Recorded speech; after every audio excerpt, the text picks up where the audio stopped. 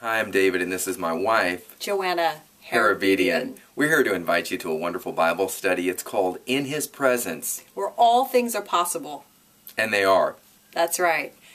Come and grow, be transformed, let God touch you.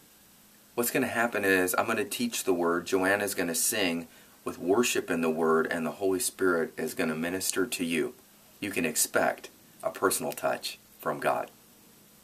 Check out the dates on the site below for the time and date, and we look forward to seeing you there and watch God move. See you there.